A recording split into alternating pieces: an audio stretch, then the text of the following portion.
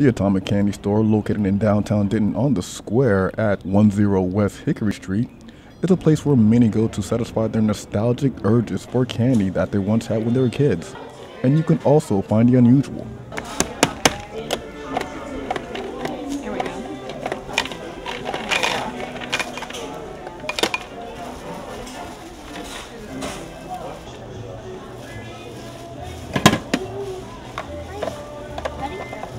We just walked around the Denton Square and, and uh, happened upon this place, and I thought, I'd spend time with my daughters. I have four girls, and took them out, and we ended up here.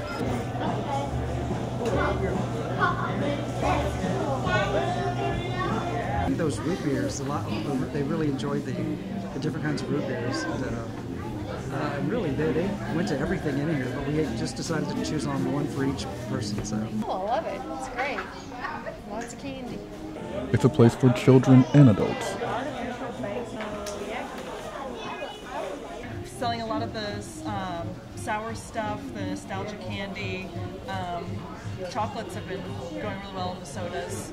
We like to find all the kind of weird odds and ends and stuff like that that you know people are get shocked by. You just want to satisfy your sweet tooth or pick up novelty items like giant gummy bears and giant Tootsie Roll Pops or Tabasco spicy chocolate wedges, or you just want to sip of that Australian style ginger beer, come out to the Atomic Candy Store located in downtown Denton on the square.